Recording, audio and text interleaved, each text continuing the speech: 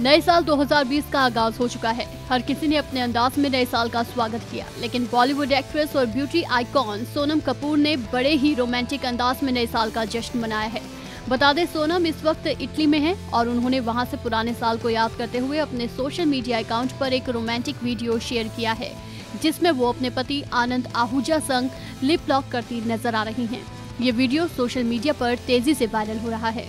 बता दें lip lock video share करते हुए सोनम ने लिखा, पिछला दशक सबसे शानदार रहा।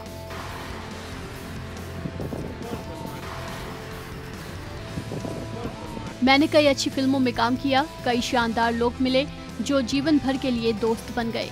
मैंने बहन रिया कपूर के साथ तीन फ़िल्में बनाई, जिससे ये साबित हुआ कि हम दो बहनें अच्छी पार्टनर हैं। सोनम ने आगे लिखा कि मैं अपने सोलमेट से मिली। हमने शादी की और अपना घर बनाया। इस पूरे वक्त ने मुझे ये सिखाया कि जीवन के कई रास्ते हैं और केवल एक रास्ता है जिसे हमें सही इरादों के साथ पूरा करना चाहिए। सभी को बहुत बहुत शुक्रिया। बता दें, साल 2014 में सोनम और आनंद की मुलाकात हुई थी। एक महीने बाद ही आनंद ने सोनम को प्रपोज कर दिया था। चार साल की डेटिंग के बाद दोनों का रिश्ता शादी के मुकाम पर पहुँचा और आज दोनों की शादी को एक साल से ज़्यादा का वक्त हो चुका है।